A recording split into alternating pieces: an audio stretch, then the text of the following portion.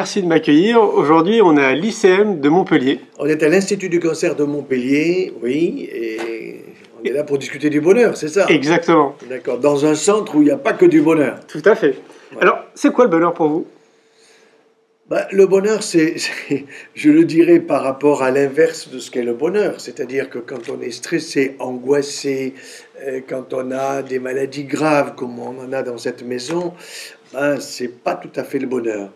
Donc euh, le bonheur, c'est pas simplement être exempt de maladie, euh, c'est, essayer d'être dans sa peau, euh, c'est essayer d'être bien dans sa peau, c'est essayer de donner du bonheur aux autres. Vous voyez, déjà, donner du bonheur aux autres. Alors ça veut dire quoi donner du bonheur aux autres? Quand vous êtes chirurgien cancérologue comme moi, donner du bonheur aux autres, c'est réparer par la chirurgie, c'est essayer d'expliquer ce qui se passe dans la maladie et de donner de l'espoir, de l'espérance. Mais c'est pas évident, parce que nous avons des malades qui sont à des stades avancés. Bon, pour ce qui concerne mon bonheur à moi, moi, je dirais que mon bonheur, il est familial d'abord. J'ai une épouse et des enfants. Nous avons eu six enfants, trois garçons, trois filles. Ils sont tous adultes maintenant et nous en sommes à l'étape suivante, aux petits-enfants. Nous attendons donc le 13e qui va naître à Chicago prochainement. Bon, tout ça, c'est du bonheur, mais ça n'est pas sans souci. Et un souci peut être intégré dans le cadre du bonheur parce que on va essayer de le résoudre. Donc ça veut dire qu'il faut avoir dans sa tête, je dirais, pas mal de solutions. Il faut avoir une ouverture d'esprit qui permet de trouver des solutions quand il y a des troubles, de l'angoisse, etc. Bon, c'est possible, c'est possible, mais ça demande une certaine sagesse. Vous voyez, nous avons une sagesse dans notre corps au niveau de la circulation corporelle, de notre immunité, mais je pense que ce qui manque dans notre société, c'est une certaine sagesse par rapport à tout ce que nous pouvons observer autour de nous. Euh, cette sagesse, elle est dans la nature. Les arbres nous parlent, les oiseaux nous parlent, la nature nous parle, mais nous sommes tellement sur la vitre de notre vie quotidienne, sur le stress par rapport au chômage, à l'argent, à ceci et à cela, que euh, nous oublions d'entendre la nature, nous oublions d'être de temps en temps dans le silence pour euh, méditer, pour euh, réfléchir, faire le point, où j'en suis, d'où je viens, où je vais. Bon. Et donc, euh, euh, il y a une inquiétude profonde dans la société, euh, en particulier en, Europe et, et en France plus particulièrement en ce moment, parce qu'il y a un manque de confiance. Si vous n'avez pas confiance dans votre ami I ou IE, si vous n'avez pas confiance dans vos enfants, si vous n'avez pas confiance dans vos collaborateurs, c'est la méfiance quand on n'a pas la confiance. Or, la confiance est un élément du bonheur. Mais c'est vrai que quand j'ai de nouveaux collaborateurs, je le leur dis d'ailleurs au départ, je fais confiance. Je fais confiance systématiquement, puisque je les ai choisis. Mais attention, je suis observateur. Ça veut dire que cette confiance, je peux soit l'accroître, soit la réduire. Je fais gratuitement confiance. Mais c'est vrai que parfois, bah, il y a des choses qui ne vont pas et on est obligé de dire aux collaborateurs, ben non, il faut arrêter de, de- de continuer à travailler ensemble parce que là, là, là et là, il semble bien que, que tu n'as pas compris ce qu'il faut faire pour les malades ou pour ceci ou pour cela dans le domaine de la recherche. Donc, pour moi, dans le bonheur, il y a la confiance. Pour moi, dans le bonheur, il y a une certaine sagesse. Et dans le bonheur, il y a aussi une recherche. La recherche du bonheur. Donc, si, je suis en permanence, si vous voulez, négatif dans ma tête, parce que j'angoisse, parce que je stresse, parce que je suis jaloux, parce que ceci, parce que cela, bon, euh, le bonheur, vous ne le trouvez pas. À la limite, vous êtes dans un état dépressif qui peut même être suicidaire. Donc, le bonheur, c'est quand même du travail. C'est du travail. Il ne faut pas se faire d'illusions. Le bonheur ne se retrouve pas dans le Red Bull, dans le Coca-Cola, dans faire n'importe quoi, ou aller au cinéma tous les jours, ou vous regardez des conneries à la télévision. Pour vous dire clairement les choses, je n'ai pas la télévision. Et pourtant, j'en sais autant que ceux qui la regardent, parce qu'ils m'en parlent. Ils m'en parlent pas toujours en négatif. Mais c'est vrai que parfois, ils me il y a eu une émission formidable. Eh ben, je dis, raconte-la moi, ils me la racontent, je la visualise, j'ai pas besoin de la voir. J'ai autre chose à faire. Je préfère bouquiner, écouter de la musique, écrire des bouquins, écrire des lettres. J'écris actuellement à 400 000 personnes qui reçoivent une lettre euh, de ma pomme toutes les semaines, bon, euh, ben, ils la reçoivent gratuitement. Pour moi, c'est une grande joie de me dire qu'il y en a 400 000, mais, ça ne me suffit pas. Je vise un million. Mais pourquoi un million et pas deux et pas trois? Parce que pour arriver à deux et trois, il faut passer par un. Et, ensuite, pourquoi un? Parce que euh, je sais que si j'arrive à cela, je pourrai toucher les pouvoirs publics. Parce que des grands médias vont me joindre. Comment vous avez fait? Ça commence d'ailleurs. Il commence à arriver. Et là, je sélectionne. Je ne veux que du direct. Je ne veux pas du direct, de l'indirect. Vous savez, où on manipule ce que vous dites. Donc là, avec les médias, je suis méfiant. Parce que je me suis déjà rendu compte que j'ai été couillonné en termes méditerranéens plusieurs fois. Donc, on vous fait dire quelque chose et puis ensuite on manipule ce que vous avez dit d'une façon ou d'une autre. J'ai gagné un procès récemment en Belgique, qui est une belle leçon, avec la radio-télévision belge francophone, où ils ont manipulé un certain nombre d'informations qui sont allées chercher sur Internet qui sont contre moi sans même les vérifier. Bon, pourquoi? Parce que quand vous faites un peu du buzz, automatiquement, on vous observe. Il y a des gens qui disent Ah, il est très bien, ils en disent même trop, et puis d'autres qui vous cassent en petits morceaux sans même savoir qui vous êtes, sans avoir parlé une seule fois avec vous. Bon, voilà. Donc, moi, je, je le, verrai, je le verrai comme ça. Le bonheur, tout le monde le cherche, tout le monde ne l'atteint pas mais parce qu'il y a peut-être un, peu de manque de sagesse, et puis il y a aussi la chance qui joue. Moi, j'ai eu la chance d'avoir un père et une mère formidables, d'appartenir à une famille de dix enfants où ça, ça circulait, ça discutait, ça chahutait, ça déconnait. En même temps, ça travaillait. Hein. Mes parents, mon père, il nous disait euh, si tu travailles pas, ben, tu manges pas, mon petit. Hein. Bon, voilà, donc il faut travailler dans la vie pour arriver. Et c'était pas idiot du tout. Et en même temps, c'était très ouvert on pouvait euh, parler de, choses et d'autres, donc euh, il n'y avait pas de problème. Il y avait des disputes, évidemment, ce qui est normal, des jalousies entre frères et sœurs, mais tout ça, avec l'âge, c'est évidemment réduit. Donc, le, bonheur, aujourd'hui, ce n'est pas une équation, ce ne sont pas des recettes, c'est un, fond, si vous voulez, chez l'individu qui va quand même le chercher. Le type qui croit qu'il va trouver le bonheur dans la drogue, bah, il se plante complètement. Je viens d'entendre sur la radio que à la salle pétrière, ils vont mettre des salles de shoot, c'est-à-dire pour se droguer proprement. Mais c'est totalement aberrant. C'est une connerie monstrueuse. Pourquoi? Parce qu'on entretient. Il ne s'agit pas de mettre en prison celui qui se drogue. Moi, celui qui se drogue, je le prends avec moi, je discute, je l'invite au café, je le fais venir bouffer chez moi, je vais le voir et le revoir et le revoir. Et il va réduire, je vais lui faire un plan de réduction, je vais lui expliquer ce qu'il risque, etc. Il faut dialoguer. Or, le problème, si vous voulez, c'est qu'on étiquette. À partir du moment où vous mettez une étiquette sur la figure, c'est une catastrophe. Parce que cette étiquette, c'est qu'une partie de vous. Vous comprenez? Alors moi, mon étiquette, ça sera, il s'appelle Joyeux. Bon, c'est vrai, je suis 24 heures sur 24 joyeux euh, parce que je porte ce nom qui est facile à retenir. Mon étiquette, ça sera, il est chirurgien, il est cancérologue. Ou là, c'est un mec dangereux, il guérit pas tout le monde. Bon, ou mon étiquette, ça sera, il a une famille nombreuse. Ou là là, il est musulman, il est catholique, il est quoi? Tout de suite, on cherche l'étiquette. Ça, c'est absurde. Et je pense que notre société, à travers les médias, a besoin de davantage réfléchir à apaiser, si vous voulez, la société, parce que parce qu'il n'y a pas d'apaisement, il y a de l'agressivité. Quand vous regardez les gens, euh, si vous voulez, dans les gares ou dans les aéroports, ils ont tous la tête à regarder par terre, ils sourient pas, ils se disent à peine bonjour. J'ai passé cinq ans à Paris à l'Institut Curie, et ce qui m'a frappé, voyez-vous, euh, c'est que quand je montais dans l'ascenseur, il y avait quatre, cinq personnes, on se dit pas bonjour. Vous voyez des gens en consultation dans la journée, le soir vous les croisez dans le métro. Eh ben, ils doivent se dire que je suis un clone et qu'eux aussi sont un clone. On ne se dit pas bonjour. il y a quelque chose qui ne va pas dans la société, dans les relations humaines, et donc qui, qui trouble, si vous voulez, la, recherche du bonheur. Est-ce que c'est par chercher Est-ce que ce ne serait pas le, justement euh, les médias, les politiques, euh, euh, la société telle qu'on a, telle qu'on veut nous la montrer, qui participe justement à cette sclérose collective Si, vous avez raison, mais bon, si j'étais homme politique, je ne ferais pas mieux que ceux qui y sont faut pas non plus faire d'illusions, parce que, que, vous pouvez cracher sur un député ou sur un sénateur, il est que dalle dans le système. Bon, mais euh, je crois que il faut aller vers, le, vers le, ce que j'appellerais le petit peuple, au sens où c'est la base de la pyramide, si vous voulez, sociale. Ça ne veut pas dire simplement le petit peuple dans la pauvreté, etc. Moi, je suis plutôt pour que les gens pauvres deviennent riches, si vous voulez, et que les, les hyper riches le soient peut-être un petit peu moins. Ça, c'est une évidence. Mais en même temps, euh, c'est quand même la richesse qui permet à la pauvreté d'avancer aussi, quoi. Voilà. Bon. Non, je pense que la société n'est pas bien organisée, mais il faut pas non plus rêver. Il faut pas rêver. Il faut du temps pour changer les choses. Ça bouge dans la société. Il y a des prises de conscience qui se font souvent par le négatif. Oui, je, je, vous disais tout à l'heure, je te disais tout à l'heure, Julien, euh, si, tu as la main dans un plâtre pendant trois mois, tu vas te dire, si tu es droitier, oh là là, mais, mais je ne sais plus quoi faire euh, sans ma main droite. J'avais l'impression que voilà, on prend conscience.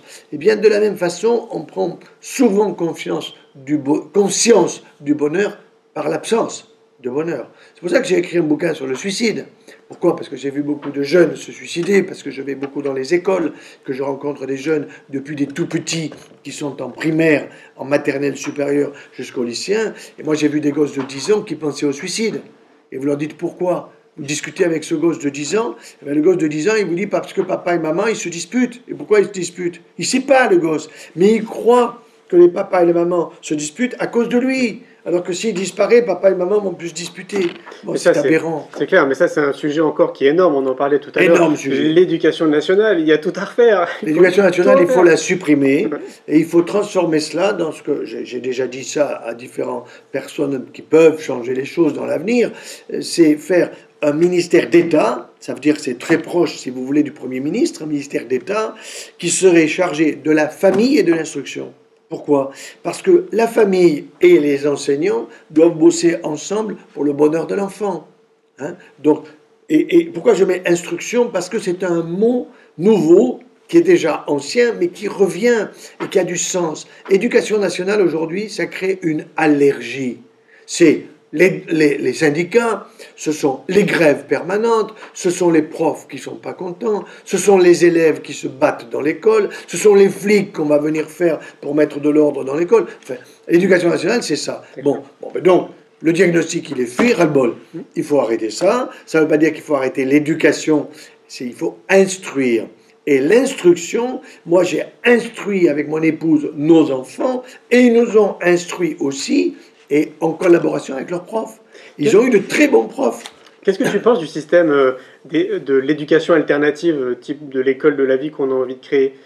Moi, je, je, pense, que c'est une bonne idée, une, école de la vie dont, dont, tu parlais, que tu as envie de créer prochainement. Seulement, il faut voir qu'est-ce qu'on va apporter avec cette école de la vie.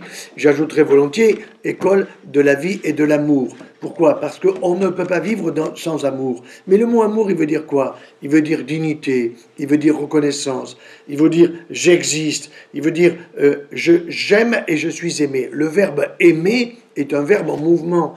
je ne peux pas aimer longtemps une personne si cette personne me crache dessus du matin au soir. Bon là, ça devient impossible, quoi. Mais je prends souvent cet exemple avec les gosses, avec les jeunes dans les écoles. Imagine que tu as un chat, et tu rentres chez toi à 17h ou 18h, et le chat, évidemment, il t'attend, tu le connais bien, tu le prends sur tes genoux. Bon, qu'est-ce que tu vas faire? Ben, Tu vas le caresser, il va se mettre à miauler. Bon, tu es content, il est content, il te répond, tu lui réponds. Imagine que le chat, il te pisse dessus. Qu'est-ce que tu fais? Tu le dégages en disant tu es mal éduqué, ça va pas, tu l'engueules, etc. Donc, l'amour, c'est un aller et un retour. Il ne peut pas y avoir un amour sans retour. Même si j'aime une fleur, cette fleur m'envoie quelque chose, par sa couleur, par son odeur, voyez Même si j'aime un animal, cet animal, par sa beauté, par sa structuration, par ce qu'il est capable de faire, m'envoie des messages. Et, je pense que la nature aujourd'hui est beaucoup trop oubliée, bien que vous ayez un, tu as un, grand courant écologique qui n'est pas un courant écologique politique, celui-là il est mort, pour moi, il n'existe pas, il est inefficace, il est même dangereux, mais c'est un courant écologique d'un retour à la nature. Et moi, je le vois à travers la nutrition, l'alimentation et toutes les conférences que je donne dans ce domaine. C'est clair, on parle de permaculture aussi, Pierre Rabhi. Permaculture, euh, Pierre Rabhi, je le connais bien, bien sûr. La permaculture, il faut aller au, bec et loin. Mm. Au bec et loin, il y a une structure de permaculture, il faut aller les interviewer. Il faut un boulot absolument fabuleux. C'est un homme et une femme qui se croisaient dans les avions. Ça veut dire que dans les avions, il y en avait un qui partait au Japon et l'autre qui allait à New York. Ils se rencontraient jamais. Pourtant, ils avaient signé un contrat de vie ensemble. Bon, puis un beau jour, ils se sont peut-être assis, ils ont réfléchi, ils se sont dit qu'est-ce que c'est ces conneries? Où allons-nous Arrêtons tout ça. C'est clair. Tu parlais d'alimentation, j'ai rencontré Marion Caplan, qui oui, je connais bien. que tu connais très bien. Je suis avec elle ce soir au téléphone. Ah bah excellent, ouais. Et donc, euh, bah, super, hein, évidemment. quoi. J'imagine que tu as plein de choses à dire aussi au niveau de l'alimentation. Bah, l'alimentation aujourd'hui, le gros problème, c'est qu'elle est industrialisée. Et ça, c'est une catastrophe. Parce qu'il y a des conservateurs, des exhausteurs de goût, des jolies couleurs, des jolis paniers, etc. Et euh, les gens euh, ne se rendent pas trop compte bien que c'est en train de venir, qu'ils ont des maladies de civilisation qui sont liées à cette alimentation qui est absolument catastrophique. Donc le retour à la nature se fait. C'est, je dirais, le panier à map. C'est-à-dire, je vais chez l'agriculteur qui, en fonction de la saison, va me fournir les aliments correspondant à la saison, de proximité et peut-être même de l'agriculture biologique, c'est-à-dire sans pesticides. Mais je suis inquiet, par exemple, par les OGM.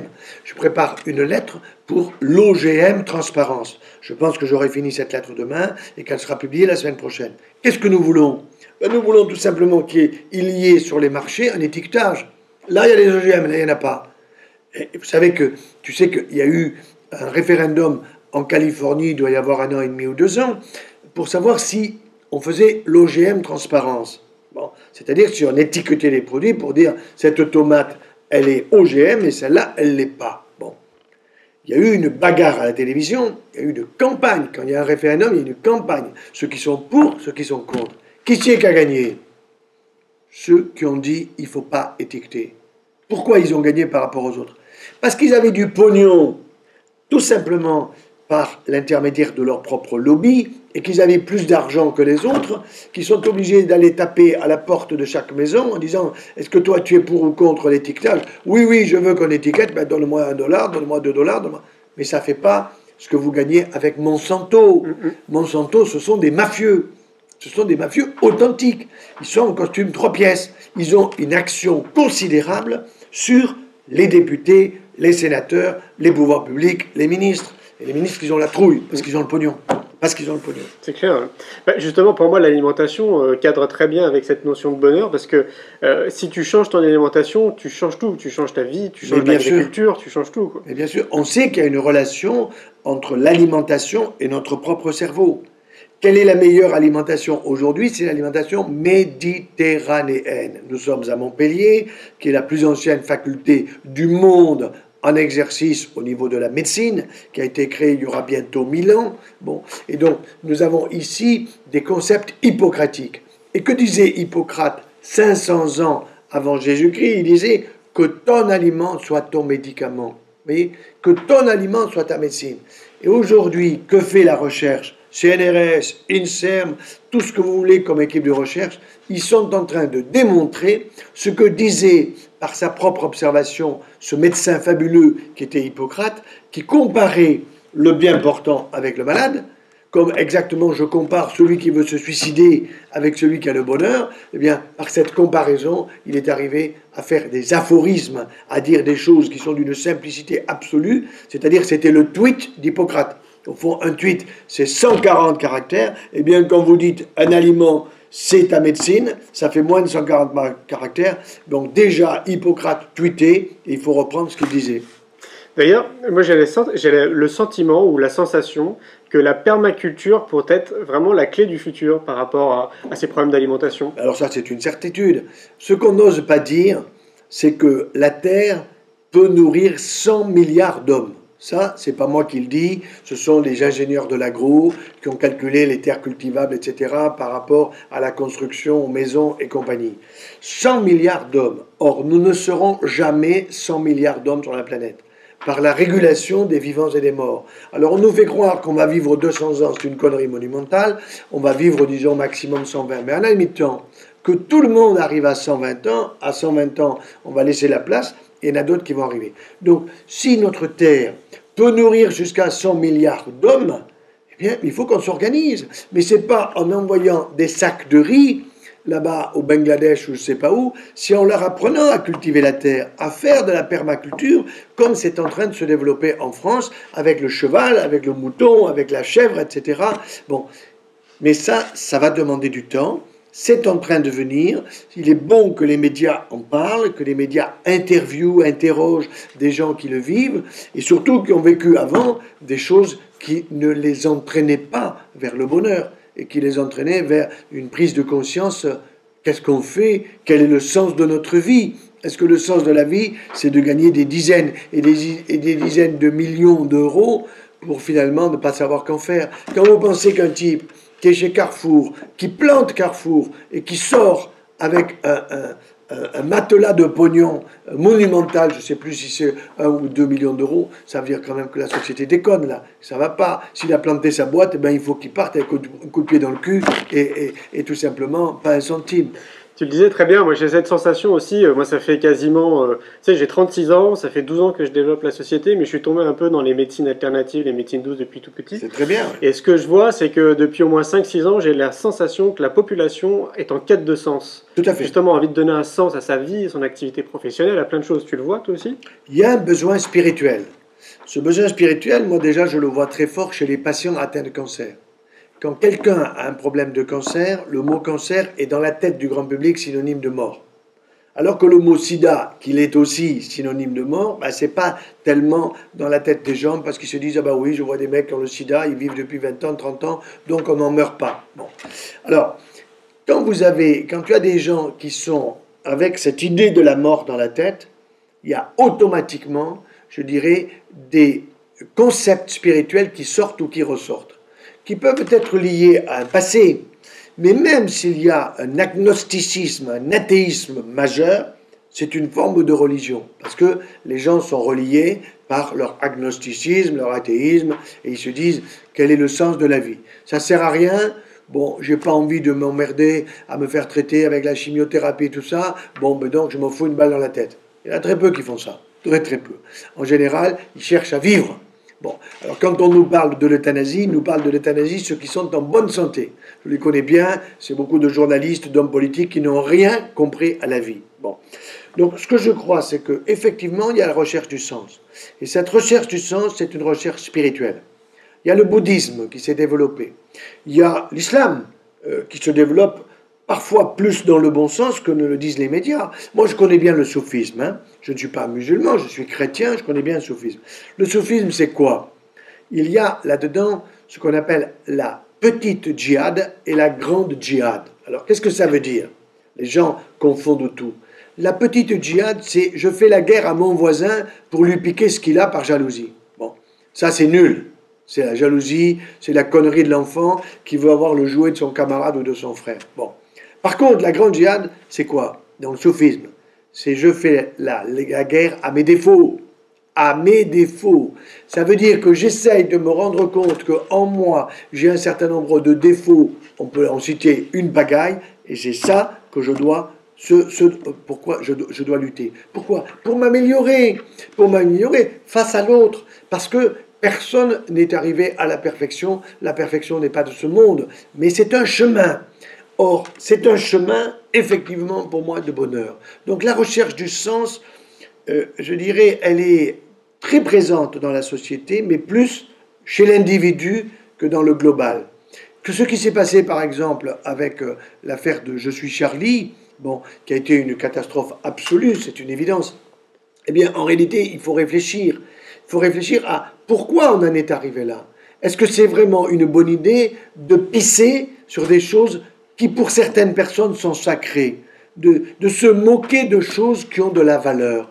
Moi, je crois que on peut se moquer de tout, mais il y a des limites. Et ces limites, elles sont dans le respect de l'autre. Je ne peux pas me moquer d'un camarade, d'un enfant, d'un collègue, parce que je sais que si je me moque de lui, je peux faire avec des mots M-O-T-S, des mots M-A-U-X, qui peuvent le pousser au suicide. Vous avez des gosses dans les écoles, moi que j'ai vu, qui se sont suicidés parce qu'ils ont été pris par d'autres, foutus sur Facebook ou sur autre chose, et qui n'ont pas pu supporter. Donc la fragilité humaine, elle existe, Et nous sommes tous des êtres fragiles, plus ou moins. Moi, je pense que à mon âge, je suis peut-être un peu moins fragile que quand j'avais 20 ans ou 25 ans, et vous savez pas ce que je voulais faire encore dans l'avenir. Bon, bon j'ai fait un peu le tour, mais j'ai pas fini. J'espère encore avoir beaucoup de temps devant moi. Mais je pense que les, gens ont besoin de, de, voir des personnes qui peuvent les aider à réfléchir, sans à discerner, sans leur imposer quoi que ce soit. C'est-à-dire que quand, vous êtes avec, quand tu es avec une personne qui n'est pas bien, ben, il faut la laisser parler. C'est pour ça que quand je suis à l'hôpital avec des malades, dans la chambre, il faut s'asseoir. Faut s'asseoir dans une chaise ou au bord du lit, en consultation, il faut s'asseoir. Si on est debout, ça veut dire, au fond, le, message que reçoit le patient, c'est bon, allez, allons-y vite. Euh, euh, qu'est-ce que vous avez à me dire Tout va bien. Euh, vous avez bien dormi. Vous avez pas mal. Très bien. Et je me casse. Non, il faut écouter les gens parce que les gens ont des choses à nous dire. Et en même temps, nous aussi, on apprend. Moi, j'apprends du, plus humble clochard qui peut être là, euh, vautré dans une rue ou dans le métro, et où si j'ai le temps, je vais parler avec lui. Pourquoi vous êtes là? Qu'est-ce que vous faites? D'où vous venez? Qu'est-ce que vous avez fait dans la vie? Ah ben, On est parfois sidéré par l'intelligence de ces gens-là, par euh, évidemment une certaine déprime qu'ils peuvent avoir, mais dans leur regard, on se rend compte que en parlant avec eux, on éclaire leur regard, on leur donne du bonheur, on essaye, on leur donne éventuellement une pièce ou un sandwich si on en a un qu'on va leur passer, mais on sent qu'on fait passer quelque chose. Alors, ça, ça nous permet de revenir à quelque chose qui est pour moi fondamental euh, dans le cadre du bonheur, c'est l'amour. Je vous fais remarquer une chose, c'est que l'amour, ça s'achète pas. La prostitution, ça s'achète, c'est pas de l'amour. Quand on dit faire l'amour, c'est la connerie, c'est pas ça. J'achète du sexe ou j'achète ceci ou cela. Mais même si vous aimez votre compagne, votre ami ou quelqu'un, votre père ou votre mère, et que vous lui faites un cadeau, bon, ben, vous allez acheter quelque chose, mais bien, l'amour que vous allez donner à l'autre, ça vaut beaucoup plus cher que tous les bijoux que l'on peut donner. Je vais vous dire, quelque chose qui m'a beaucoup frappé dans mon expérience, je me suis occupé de quelques enfants euh, handicapés. Bon. Et handicapés quand même sérieusement, puisque d'une manière génétique, avec ce qu'on appelle la trisomie 21. Hein. On disait autrefois les enfants mongoliens. On dit, oh là là, ils sont débiles ces enfants, etc. Mais vous ne pouvez pas vous imaginer, quand vous mettez un enfant comme ça dans la confiance, pas en lui offrant des bonbons, en parlant avec lui, en l'écoutant, quand il vous embrasse, il vous bouffe les joues.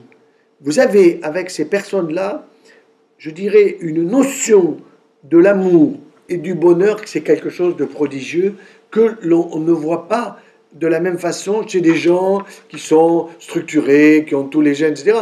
Moi, je disais à mes propres enfants quand ils grandissaient, je leur disais, Christophe, qui était un enfant justement euh, trisomique, mais Christophe, quand il m'embrasse, je sais ce qu'il veut me dire, quoi. On ne parle pas d'amour inconditionnel? Alors l'amour inconditionnel, bon, oui, mais il faut faire attention parce que ça ne peut pas être inconditionnel. Euh, ça sera inconditionnel pour une fleur, pour un élément de nature, pour un animal, mais avec l'humain, oui, je, fais, je, donne de l'amour inconditionnel quand je fais confiance à mon collaborateur que je viens de recruter. Je te fais confiance, mais fais pas de conneries. Bon, mais ça c'est un peu inconditionnel. Voilà. Alors, si on dit inconditionnel, ça, pour moi, ça, m'évoquerait euh, une absence de discernement. Il faut un peu de discernement quand même. Il faut un peu de... Je vais vous raconter une histoire très, très intéressante que j'ai vécue. C'était euh, juste avant Noël. 7 heures du matin, je vais au garage chercher ma voiture. Bon. Et puis, il y a un type qui rentre dans le garage et qui a à la main une barre de fer. Bon. Et ce gars-là me demande les clés de ma voiture. Alors, euh, je lui dis, non, je ne vous les donne pas parce que je vais à l'hôpital voir des malades, ce qui était tout à fait la, vérité. Il me dit, il, me tutoie, il me dit, donne la voiture ou je t'écrase la tête avec son bâton, d'accord, sa barre de fer. Bon, je commence à, stresser, quoi. Hein? Bon, je commence à stresser. Et puis, je continue à, à lui expliquer que je vais voir des malades, que s'il veut, il vient dans ma voiture, je le prends dans ma voiture et qu'on y va ensemble. Bon. Et là, je lui dis, je vais voir des gens qui souffrent. Et en lui disant, je vais voir du souffre, j'ai senti que je toussais sa partie affective, sa partie délicate, sa partie profonde. Il n'était pas bourré, hein. Il n'était pas drogué, il n'avait rien de tout ça, parce que, bon, je m'en serais rendu compte et, je me serais méfié, peut-être j'aurais fui autre chose. Donc, je l'ai, je l'ai touché au cœur. Bon. Et en le touchant au cœur, eh ben, à un moment, il en a eu marre de discuter avec moi, il a foutu le camp. Et j'ai pu aller à l'hôpital. Bon, après, dire, j'ai stressé, quoi. J'ai raconté ça à ma femme, je suis allé prendre un bon petit café avec du sucre, mais, je me suis dit, il aurait, il aurait été drogué, il me cassait la gueule, j'étais en morceaux, quoi. Bon, donc ça veut dire quand même qu'il faut être prudent. Vous voyez? Ça veut dire qu'il faut être prudent. Et, et cette prudence-là, c'est un discernement euh, qui doit partir d'une confiance euh, immédiate, mais en discutant, on va voir si on peut maintenir la confiance. Voilà. Est-ce que tu penses qu'il y a des clés, des outils à transmettre à une majorité de la population justement pour euh, essayer d'aller dans le bon sens S'il y a une notion de bon sens, il faudrait mettre une définition derrière. Moi, je dirais d'abord, le bonheur existe, mais il te faut le chercher. Et tu vas pas le trouver comme ça, d'un coup de baguette magique. Et dans le bonheur, il y a un certain nombre de choses qu'il faut décliner. C'est qui j'aime et qui m'aime. Hein, je mettrai en premier l'amour. Ensuite, je mettrai mon mode de vie, ce que je vis. Est-ce que je sais où je vais, dans quel métier je suis? Toi, tu es dans l'envie de transmettre. Tu vois des gens et tu te régales de les écouter, puis tu transmets sur YouTube, sur Internet ou je ne sais où. Bon, tu sais où tu vas. Bon, si le gars sait pas du tout où il va, ça c'est emmerdant. Parce que il, il zigzague Bon, alors s'il zigzague un petit peu, il va finir par trouver. Mais s'il zigzague en allant vraiment dans des coins qui sont les opposés les uns des autres, ça, ça va faire très mal. Donc, je crois que il faut aider la personne en lui disant mais quelles sont tes qualités? Donne-moi cinq. Quand je pose une question comme cela, par exemple, à des jeunes qui sont, je dirais, à partir de euh, du collège, hein, 6e, 5e, eh bien très souvent, il y en a qui vous disent j'en ai pas. Tu aimes la musique? Ah ouais Eh bien c'est pas une qualité d'aimer la musique. Tu aimes faire du sport? Ah ouais Eh bien c'est pas une qualité. Mais c'est très étonnant de voir combien des gens, euh, des jeunes, euh, vous disent j'ai pas de qualité. Alors par contre, celui qui va me sortir des qualités, comme ça, il m'en sort quatre au plein pot, je pas, en match, ceci, cela, tu dis, t'as des défauts toi ou pas? Alors, vous dit non, j'en ai pas quoi. Bon, je dis, attends, l'orgueil, ça existe c'est toi ou pas? Bon, mais la plupart des temps, du temps, moi j'entends des défauts. Et ça, c'est inquiétant. C'est inquiétant parce que il faut aider les gens à se valoriser pour ce qu'ils sont. C'est Nietzsche qui disait, il faut que tu sois toi-même. Je le dis d'une autre façon. Mais pour être soi-même, il faut du temps. Moi, j'arrive à 69 ans, je pense à peu près me connaître, mais je ne sais pas ce qui va se passer dans les, dans les années à venir. Peut-être je vais découvrir en moi d'autres capacités. Bon, quand j'étais gosse, on m'a fait faire du piano, on m'a obligé à faire du piano, ça me faisait chier, il y avait un mauvais professeur, bon.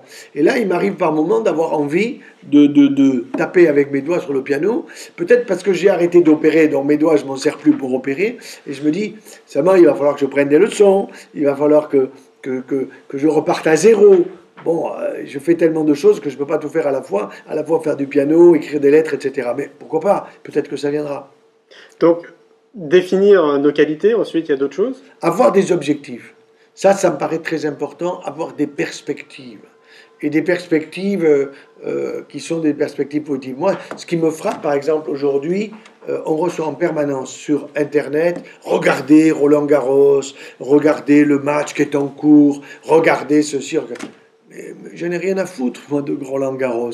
Simplement, Roland Garros, je saurais qui c'est qui va gagner, si c'est Nadal ou si c'est l'autre. Bon, bah, très bien. Bon, je veux bien regarder un quart d'heure ou 20 minutes quelques balles qui sont des belles balles. Mais après, moi, je préfère écouter la musique, je préfère bouquiner. J'apprends rien avec Roland Garros. J'apprends rien à regarder un type qui tire un, but. Euh, euh, bon, voilà. Je passe un bon moment. C'est vrai, je passe un bon moment. Mais je, pense qu'il faut avoir des objectifs. Si je vais au match, c'est pour me détendre. Si je vais regarder un film, moi, je vais plutôt regarder un film qui va m'apporter quelque chose. C'est ma femme qui choisit les films en général que, nous allons voir. Bon, alors, je lui dis, attends, ne me dis pas toute l'histoire, mais, mais qu'est-ce qu'il y a, tu penses, d'intéressant dans ce film?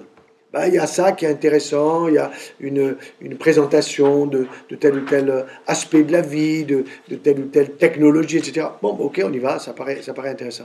Mais y aller comme ça, sans but, sans réfléchir, non. Je pense que c'est important de réfléchir, qu'est-ce que je fais Pourquoi je le fais À quoi ça me sert C'est un peu égoïste, tu me diras. Après tout, euh, si ça me donne du bonheur, auquel cas, bon, ben, c'est sympa. Quoi. Tout à fait, parce que pour moi, ça revient à se dire justement, à répondre à cette question, c'est quoi le bonheur pour moi? Parce que si tu réponds à cette question, j'ai le sentiment que ça te donne comme un GPS dans ta vie. Oui, oui, oui, c'est vrai. C'est vrai, c'est-à-dire que de réfléchir au bonheur, ça peut en donner. Bon.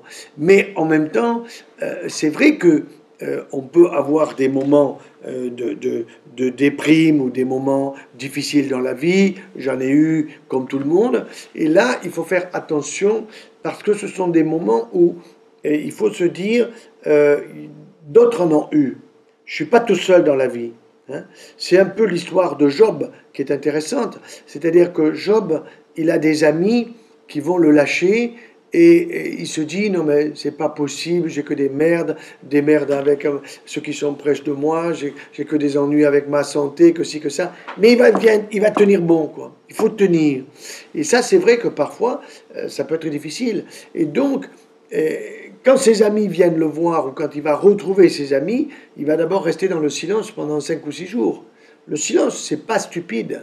Le silence, c'est de la méditation. Le silence, c'est utile pour entrer en moi, peut-être, et aller chercher au plus profond de moi des choses que, que je n'imagine pas, mais qui, qui, sont présentes en moi. Quoi. Tout à fait. Ça t'arrive d'avoir ces moments de silence? Bien sûr. Euh, en ce moment, euh, euh, je suis dans le silence pratiquement toute la journée parce que je travaille. Mon épouse n'est pas là, elle est aux États-Unis parce que notre fille va accoucher, donc elle est, là-bas pour l'aider. Mais j'aime bien le silence. Alors je mets de la musique classique. Hein, ou bien je, me mets avec un bouquin et en train de, réfléchir. Je, je, lis un bouquin fabuleux, par exemple, de Rémi Brague. Ce bouquin s'appelle Le règne de l'homme. Et le règne de l'homme, c'est le projet moderne et il démontre que c'est un échec. C'est un échec. Pourquoi? Parce que tous les philosophes modernes, on peut les citer, Derrida, on peut citer Michel Foucault, que je connais bien, qui a eu du génie incontestablement, ou bien euh, Régis euh, Deleuze. Bon, Régis Deleuze s'est foutu une balle dans la tête. Euh, bon, ça veut dire qu'il était quand même pas très heureux. Michel Foucault, il est parti du sida, donc ça veut dire qu'on n'attrape pas le sida en regardant les étoiles. Bon, Derrida, il est parti d'un cancer. Bon, mais quand vous les lisez, ce sont des mecs qui ont déstructuré la société. Déstructuré.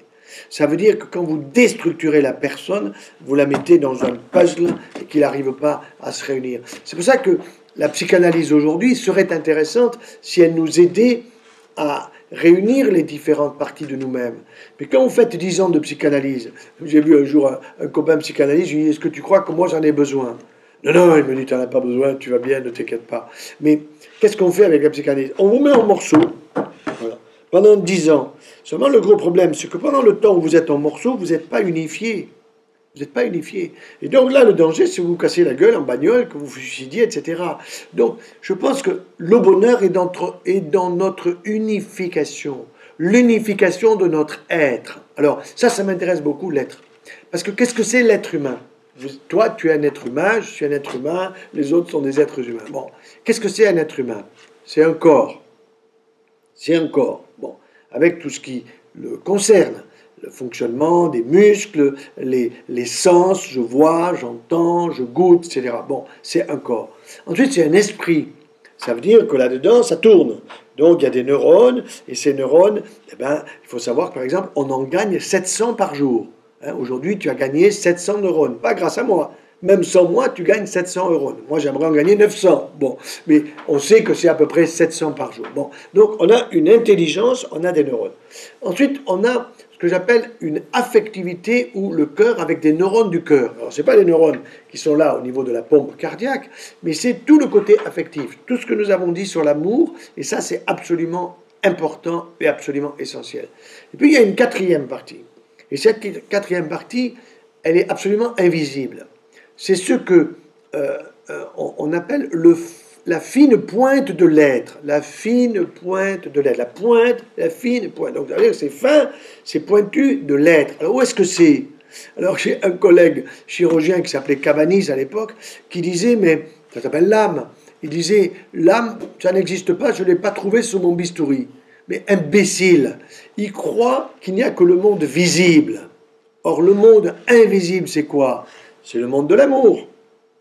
Quand vous donnez de l'amour à un enfant, quand vous donnez de l'amour à votre compagnon, votre conjoint, etc., ben, c'est de l'invisible, je veux dire, c'est de l'invisible, mais c'est du vécu, c'est du ressenti, c'est ressenti par nos sens, par notre intelligence, etc.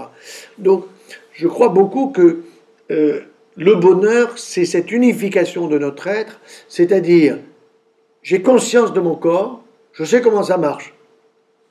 J'ai conscience de mes neurones, ça c'est un cadeau, parce que mon papa et mon maman, eh ben, par la génétique, ils m'ont donné des neurones. Bon, eh ben, il faut que je m'en serve. Donc, euh, et c'est pas avec du hashish que je vais gagner 700, 700 neurones par jour. Je vais en gagner 200 ou que dalle. Bon. Ensuite, euh, il y a le côté de la dignité, de l'amour, de la reconnaissance. Ça, ça me paraît extrêmement important, puisque quand quelqu'un ne sent pas de l'amour, eh ben, il va déprimer. Alors il va aller au Prozac, il va aller au benzodiazépine, à des médicaments qui vont le transformer en légumes. Et puis il y a cette fine pointe de l'être. là, j'ai le souvenir très précis d'un jeune garçon qui s'appelait Thierry, qui était ici dans cette maison et qui était malheureusement en fin de vie. Et je faisais un travail avec des gens en fin de vie pour euh, essayer de comprendre comment ça marche un être humain quand on est en fin de vie. C'est-à-dire quand on sait que la fin est proche. Moi, je ne me dis pas que ce soir, je vais me tuer en bagnole. Bon, euh, c'est possible. Bon, ça veut dire qu'il faut être toujours prêt. Mais si je me tue ce soir en bagnole, vous direz, bah ouais, il l'a dit, on l'a enregistré, vous voyez, il était prêt, il nous l'avait dit, il le sentait. Non, pas du tout. Bon. Mais qu'est-ce qu'il me disait Thierry? Thierry me disait, regardez votre chaise. Alors, j'étais assis à côté de lui dans sa chambre, euh, dans sa chambre de, mourant, d'agonisant. Alors, je me suis dit, je suis mal assis sur ma chaise. Souvent, je suis mal assis sur une chaise, c'est vrai. Bon, non, pas du tout. Il me dit, l'être humain, c'est les quatre pieds de la chaise. Quatre pieds de la chaise, l'être humain, qu'est-ce que c'est ça? Et alors, il m'explique. Il me dit, il faut nourrir tous les jours les quatre pieds pour être en équilibre sur sa chaise. Qu'est-ce qu'il me disait? L'unification de l'être faut nourrir son corps, des fruits, des légumes, du poisson, etc. faut nourrir son citron, son intelligence, il réfléchir, il faut lire, bouquiner, il faut regarder des choses. Bon. Il faut nourrir son affectivité, très important, capital. Et puis, il faut nourrir la fine pointe de son, tête, de son être, c'est-à-dire la spiritualité, quelle qu'elle soit. Pour moi, même un type ou une personne qui est totalement agnostique et athée, on va prendre Nietzsche, Sartre, tout ça, ça ne me gêne pas. Bon, ben, il faut le nourrir. Il faut, il faut travailler cet agnosticisme, cet athéisme, son bouddhisme, son christianisme, son islam, etc. Il faut le travailler. Bon.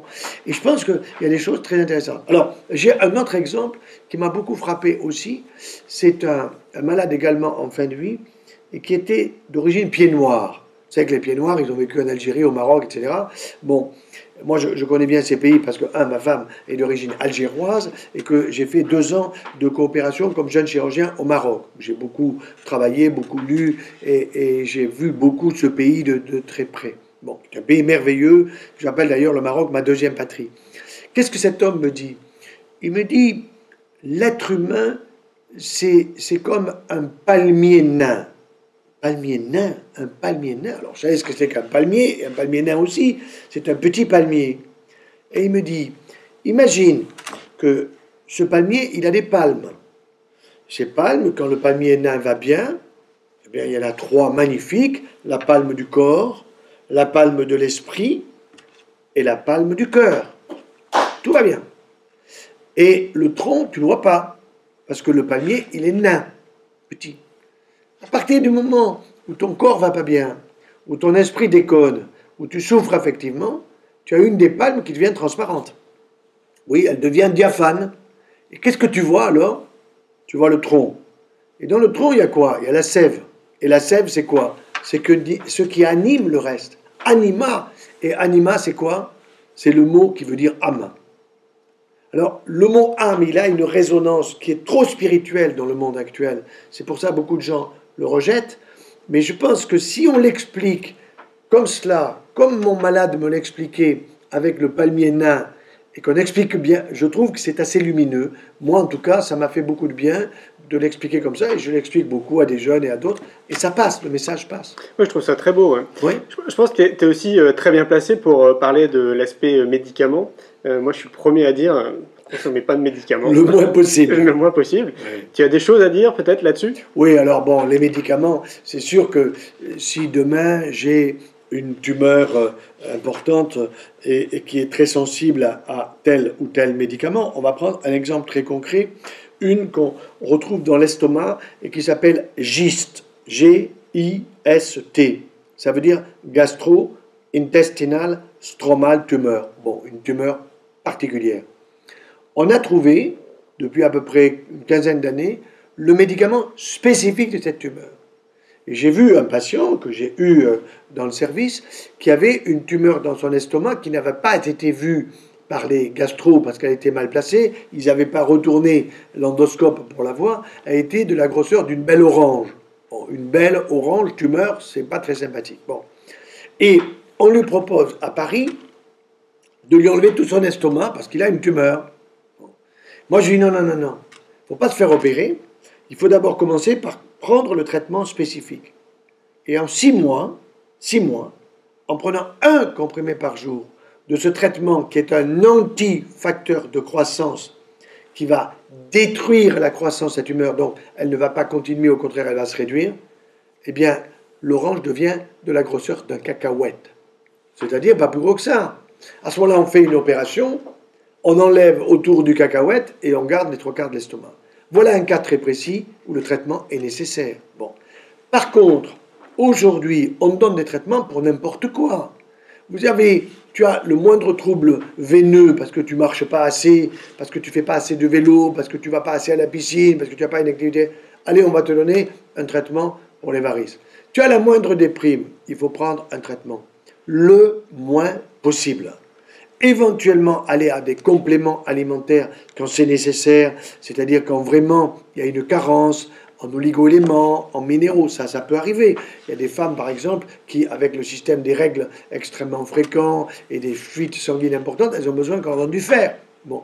Mais ce n'est pas le tardiféron qu'il faut leur donner, qui est un médicament pourri, qui donne des sels noirs, malodorantes, etc. On va leur donner tout simplement un fer minéral, et, et tout ça, elles vont remonter la pente tranquillement. Donc, je suis tout à fait d'accord. Attention aux médicaments, mais il ne faut pas être un taliban de l'anti-médicament. Il faut faire attention. C'est pour ça que j'ai donné cet exemple du giste, parce que c'est un exemple lumineux. Bon, par contre, une femme qui a un cancer du sein, elle vient te voir et on va lui proposer la chimiothérapie. Cette femme, elle dit, docteur, ma tumeur, mon cancer, il est bien là. Oui, madame, vous avez raison. Et pourquoi vous m'enlevez tous mes cheveux? Pourquoi après le traitement que vous me donnez, j'ai plus un cheveu sur la tête? Et pourquoi vous m'abîmez mes globules blancs dont j'ai besoin pour mon immunité? Eh bien oui, parce que c'est une chimiothérapie qui donne un médicament contre la mitose, c'est-à-dire la multiplication de la cellule. Or nos cheveux, ils poussent, nos ongles, ils poussent, notre peau se transforme. Et c'est très important de faire comprendre au grand public que, effectivement, les recherches à venir ne sont plus vers la chimiothérapie, mais vers des médicaments spécifiques de la tumeur. C'est pour ça qu'il faut comprendre que notre corps, c'est pas j'ai 30 ans ou 35 ans, toutes mes cellules ont 35 ans. C'est pas vrai. Les cellules de la langue, elles ont 10 jours.